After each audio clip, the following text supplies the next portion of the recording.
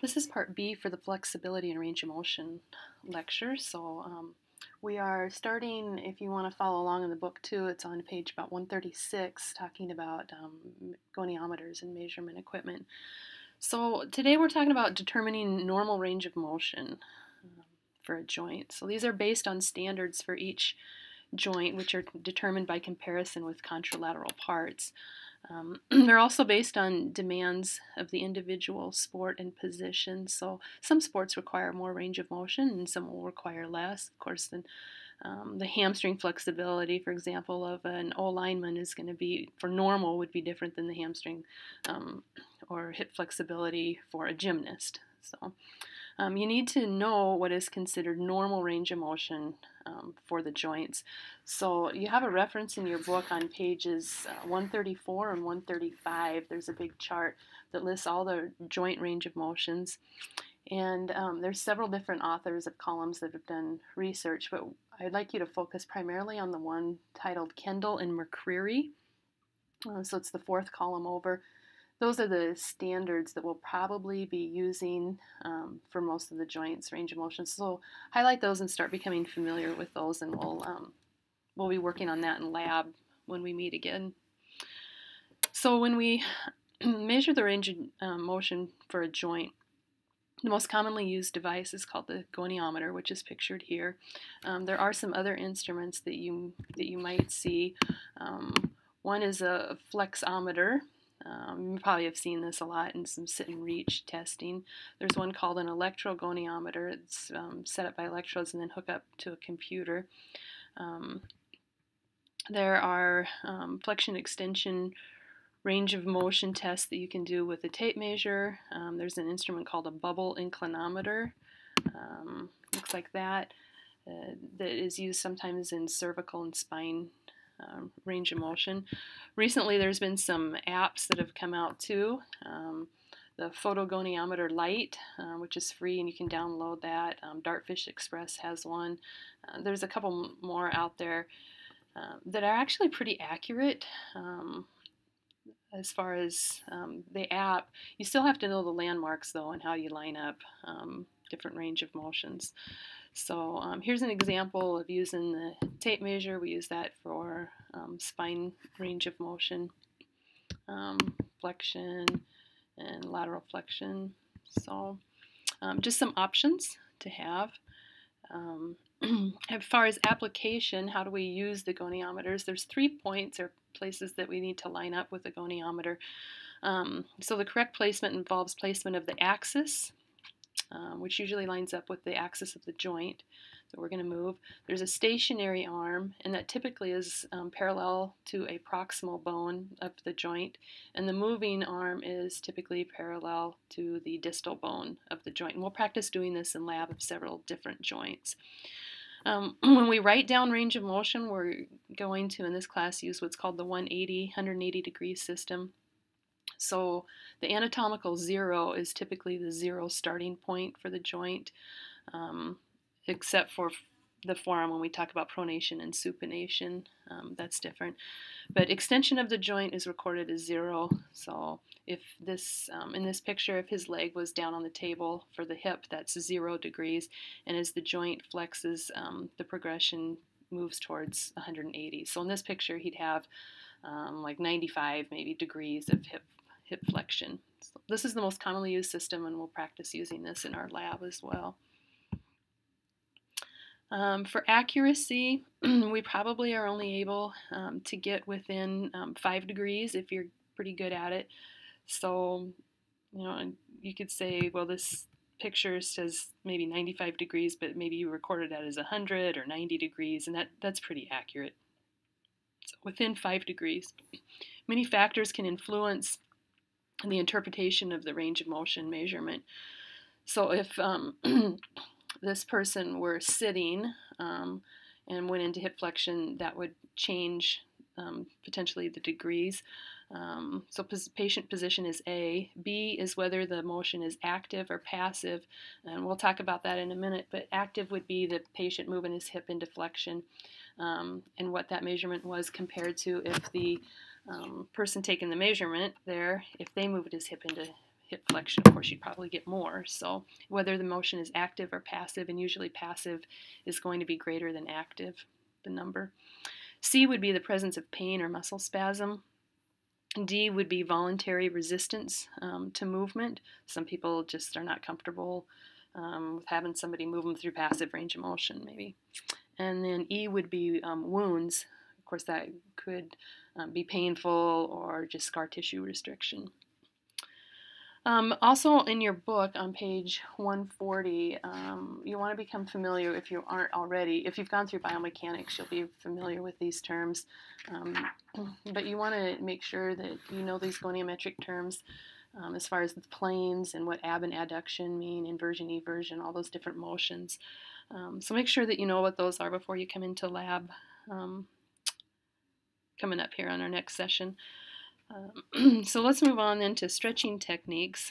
Um, when somebody is stretching, um, what are some application techniques that we need to remember um, as far as principles? Stretching is used to increase range of motion and flexibility, all right, because both can be affected by um, decrease in muscle flexibility. So range of motion and flexibility. Um, the force should be low, so it should be a low force with a long duration. Okay, we don't want to trigger the muscle spindles and have a muscle um, contraction response. So we want low force and long duration. Application of um, cold or heat um, prior to the stretch can cause a better stretch if the stretch is performed in the window of opportunity. So, um, for example, if we use hot pack or cold or um, ultrasound, um, after we take that modality off, we have about a five minute window um, where we can get the greatest advantages as far as stretching. So, stretching right after the modality is removed. So, what kind of stretches am I referring to, or what we might do? Um, the first one we have is active stretch, and this is um, where the patient performs the stretch. So, starting in A, and if the patient moves into position B, um, we actually consider that an active um, I guess it wouldn't really be a stretch necessarily, but it's active range of motion. And so you could on your outline cross out stretch and write in range of motion. So when the, when the athlete actually goes through that motion, um, that's active range of motion. Um, parameters are four to five reps, and they could hold that position for 15 to 30 seconds. Um, there's no overpressure, so not C. C is not part of it.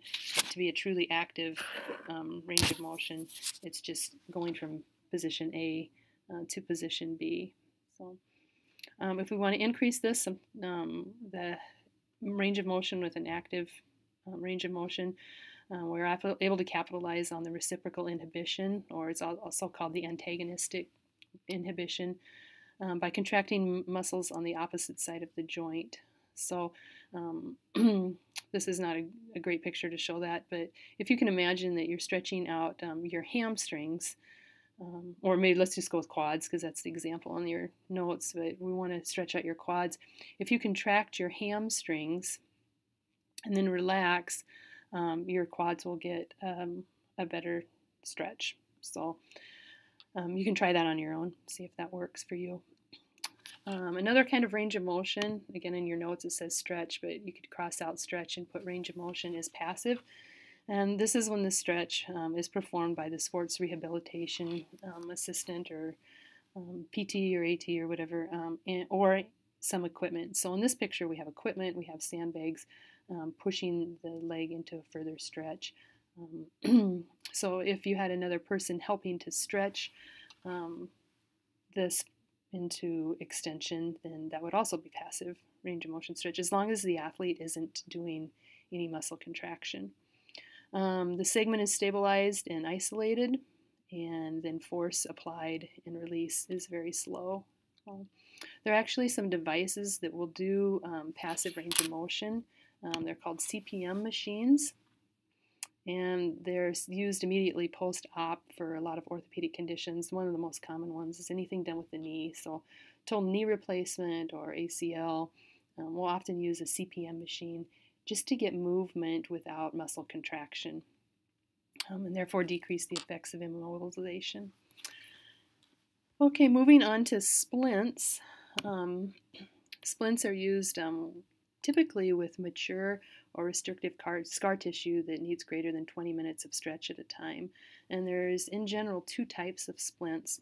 Um, the first one is a dynamic splint, and it's uh, it's constantly changing as range of motion improves. Um, so they're usually spring-loaded. They kind of look like this one on the top right. Um, they have a spring-loaded mechanism so that as the range of motion of this one's for an elbow, as it increases, um, the splint just keeps moving with it. Versus this one down here, um, which is static, which is number two on your um, notes. A static splint is a three-point um, system that has to be adjusted. So this isn't going to be an adjustable one.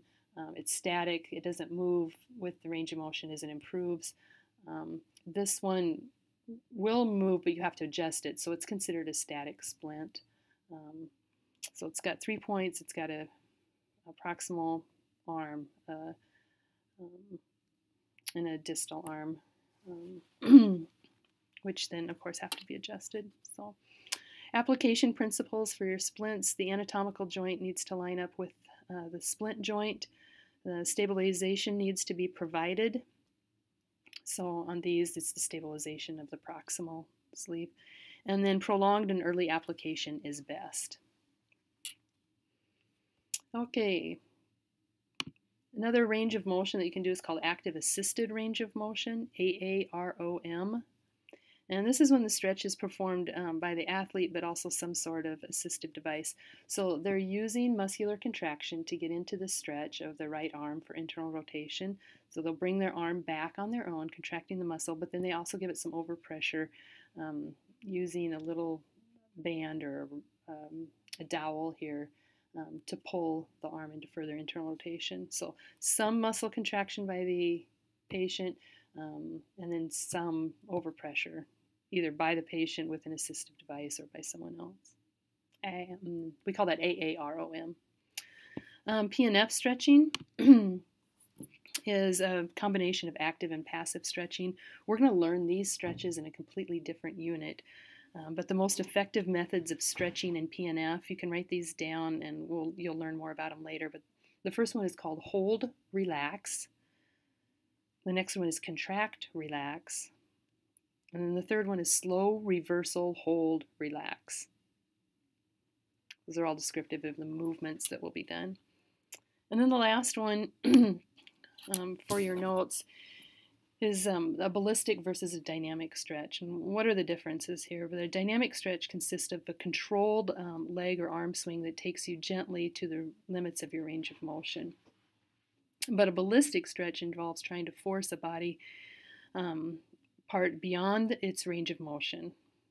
Okay, so we kind of get these bouncy, jerky moves for ballistic, but dynamic stretches, um, it's smooth um, and, and no bouncing. So the difference between a dynamic and a ballistic. So in the literature, you'll see when they're talking about they do not promote ballistic stretching, um, but dynamic stretching is a great pre-competition or pre-activity type of stretch.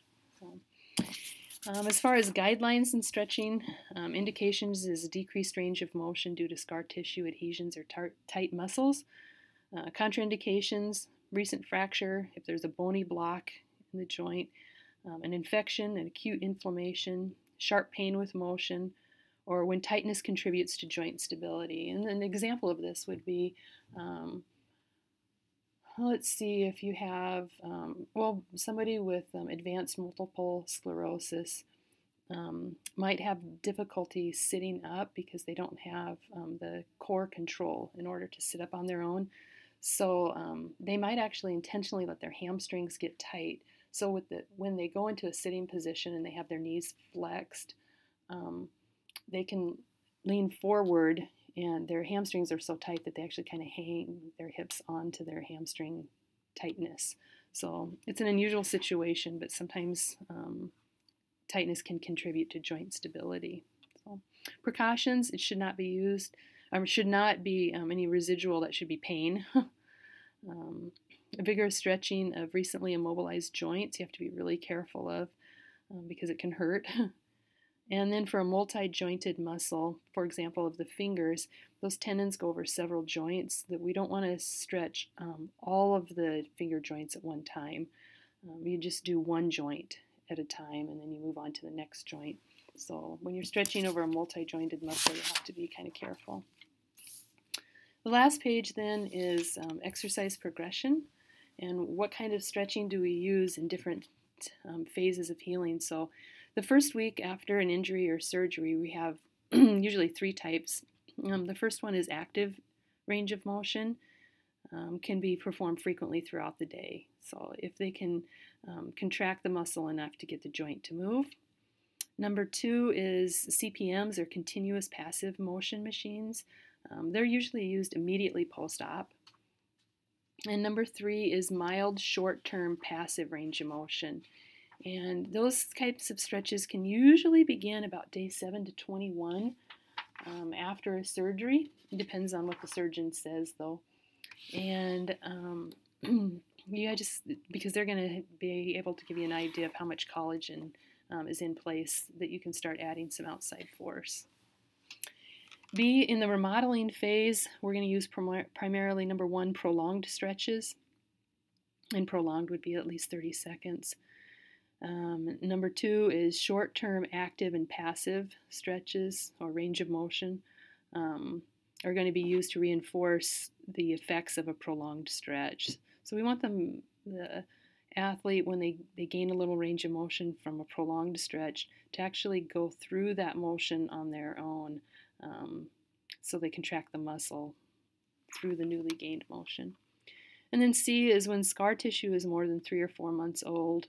We're going to use number one is prolonged stretches. And now we're probably going to look at more of um, something like a dynamic splint that we talked about earlier. Um, because we need lots and lots of stretching for long periods of time. So I'll be ordering those probably through a company that comes in and fits those on a patient. And number two is again, um, just like above, we reinforce it with frequent, frequent active movement through the motion that you've already gained. Okay. So we can't just wear the splint and, and be passive about everything.